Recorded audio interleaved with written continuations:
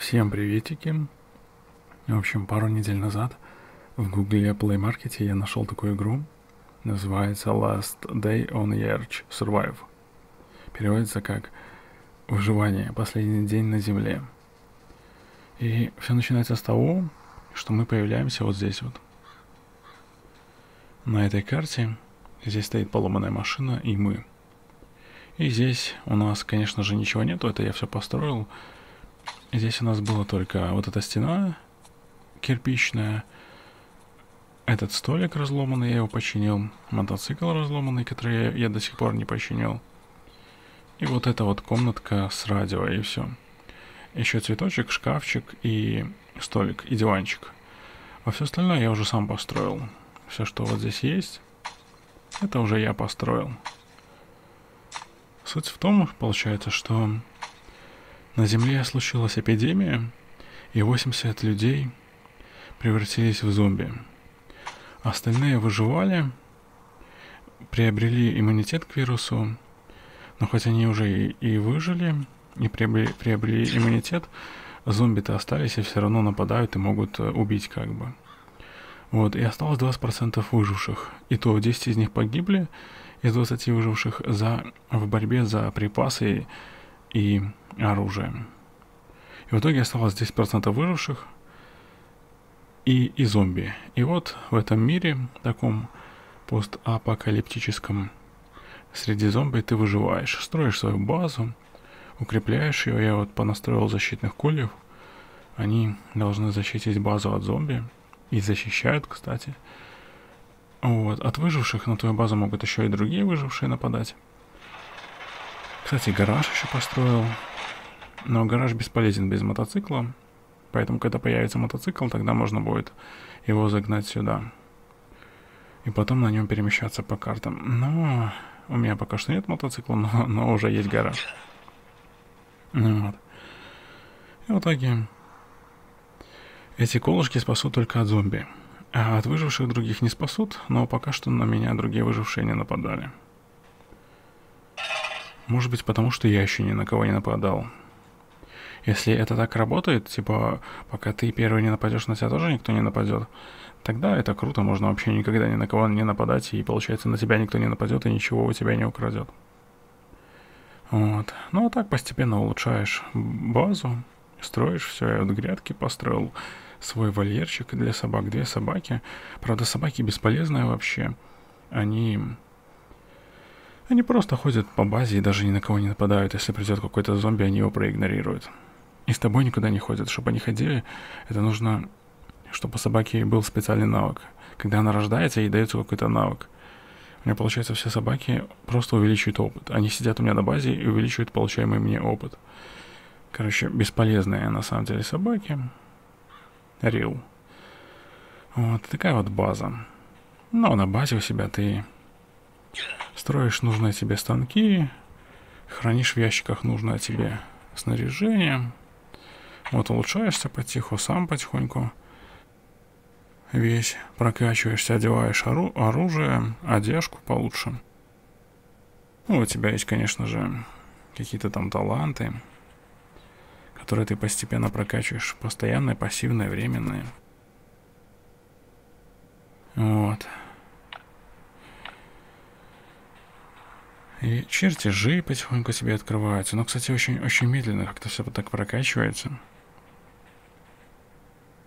Также сезон идет со всякими своими заданиями и событиями. Тут много, всяких событий. И прям по календарю расписано, что когда начинается когда заканчивается.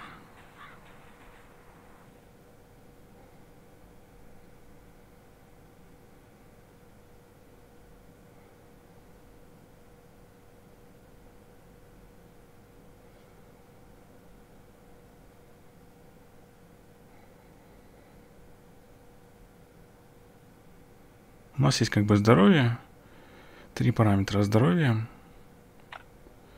здоровье, еда и вода. И нужно следить за тем, чтобы персонаж был сыт и напоен водой.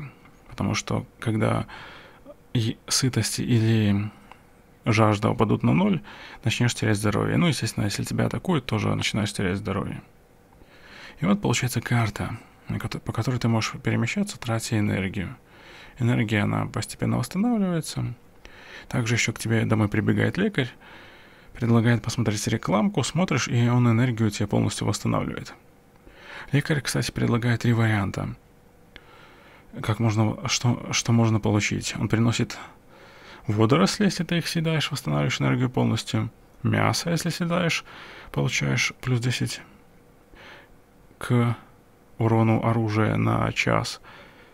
Кружка воды плюс 30 к урону ближнего оружия на, на час и зернышки, плюс 100% к получаемому опыту, и выбираешь то, что тебе нужно. Ну а вокруг места, куда ты можешь пойти. Что-то недоступно. Красное это самое сложное, зеленое самое легкое, оранжевое такое среднее. Что-то недоступно, он самое дальнее. Это вообще на, на лодке плыть надо, наверное, у меня ее нету. Также есть стена такая здоровая, которая, которой отгородились от нас, от внешнего мира, жители кратера. И вот сам кратер.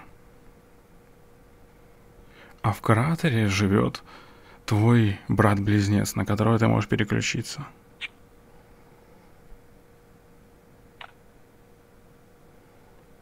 Ну и вот он, брат-близнец, мы на него переключаемся.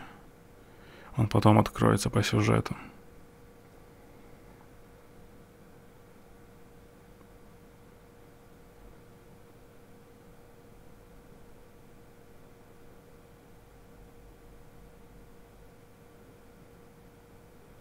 И еще это симулятор загрузки. Ну и вот, вот он кратер.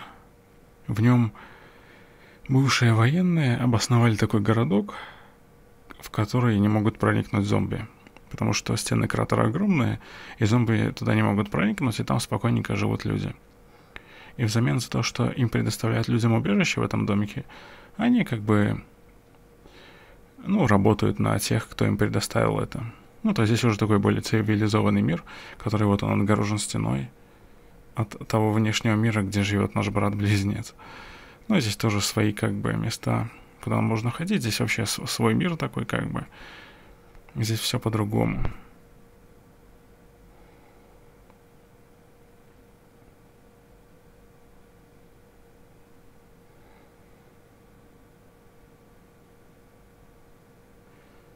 Получается, здесь все связано на взаимоотношениях с людьми.